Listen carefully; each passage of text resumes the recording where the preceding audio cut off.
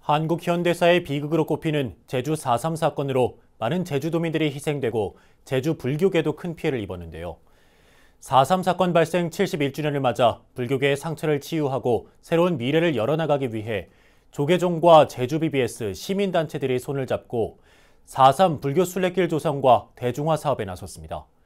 제주 BBS 이병철 기자가 순례길 발굴 현장을 동행 취재했습니다. 71년 전 극심한 좌우 대립 속에 제주에서 발생한 4.3. 당시 남노당 무장 세력과 군경 토벌대 간의 무장 충돌로 3만여 명의 이상의 무고한 제주도민들이 희생되고 불교계도 적지 않은 피해를 입었습니다. 당시 제주 관음사 등 37개 사찰이 불에 타고 16명의 스님이 목숨을 잃었습니다.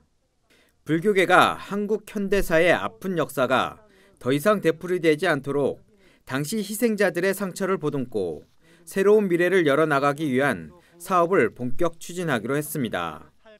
조계종 사회노동위와 제주관음사, 사단법인 제주사삼범국민위원회, 그리고 BBS 제주불교방송은 최근 4.3의 생생한 아픔이 남아있는 현장과 불교 유적지 등을 순례하는 동선을 발굴하고 이를 널리 알리기 위한 사업에 첫 발을 내디뎠습니다.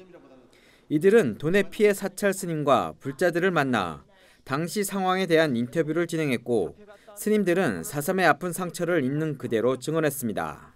산 사람이 막, 막 간부급들 뭐야 간부급 음. 그, 그 중에 신임이 한 분 계시는데 이세진 신임 네. 근데 있으면서 신임들한테 그뭐 피해를 안 끼치고 따로 자기들끼리 밥해 먹고 그렇게 했습니다 그 당시. 스님과 불자들은 70여 년이 지난 4.3이지만 당시에 주민들이 폭도나 빨갱이로 몰렸던 트라우마가 아직도 진행형이라고 입을 모았습니다. 또 4.3에 대한 연좌제 등으로 희생자 등록에도 누락된 사실을 지적하면서 불교계의 피해 사례에 대한 실태 파악과 기록 작업이 조속히 이루어져야 한다고 목소리를 높였습니다. 4.3 사건 당시에 어떤 고통스러운 그런 기억에 의한 트라우마에 의해서 어, 말씀을 제대로 못하셨던 그런 부분들이 컸기 때문에 우리가 지금 이렇게 잘 모르고 있는 부분들이 많지 않았나 생각을 하면서 아직까지 어, 기억을 가지신 분들이 더 어, 없어지기 전에 어, 빨리 이걸 자료로 남기고 어, 알리고 보존하는 작업이 시급하지 않나 하는 것을 느낄 수 있었습니다. 조계종 총무원은 이번 사삼 불교 순례길 탐방의 성과를 바탕으로 내년부터 불교와 사삼 순례 지도를 제작 보급해 전국의 사부대중에게 제주 불교와 사삼의 진실을 알리는데 앞장서겠다고 밝혔습니다. 그리고 37개 피해 사찰에 대한 안내판 표지 설치, 각 사찰별로 희생자의 넋을 위로하는 천도제 봉행, 4.3 당시 피해 당사자들의 구술과 증언 기록 등을 시급히 추진해야 할 과제로 꼽았습니다. 전문가들은 4.3 당시 가장 악명이 높았던 서북 청량단의 성격에 대한 연구도 진행돼야 한다고 지적했습니다.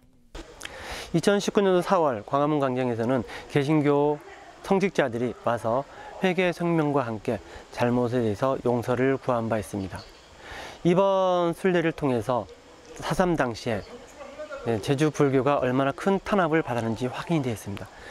향후 과제는 특정 종교에 의한 특정 종교의 탄압에 대한 부분들이 중요한 연구 과제로 대두될 것 같습니다. 평안도 출신들로 주로 이루어진 단체로 기독교 신앙이 강했던 서북 청년단. 종교 간의 미묘한 문제로 떠오를 가능성이 높지만 서북 청년단의 실체적 진실을 밝히는 것도 불교계의 화두가 되고 있습니다.